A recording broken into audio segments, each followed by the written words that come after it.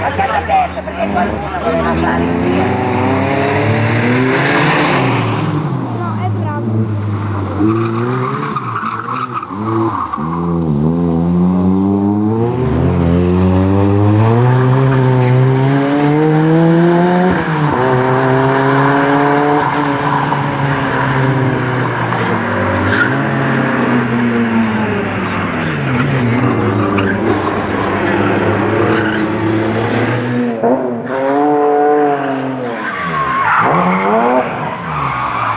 Thank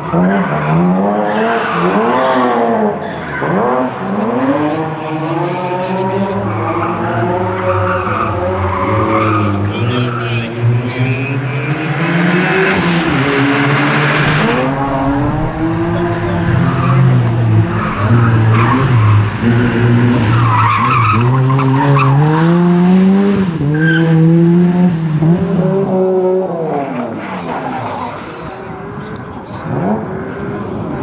Thank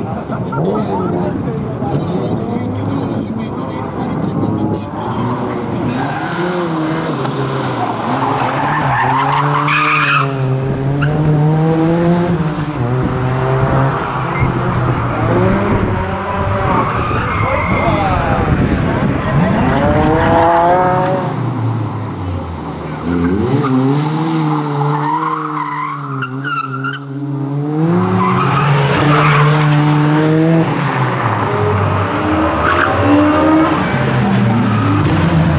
Yeah.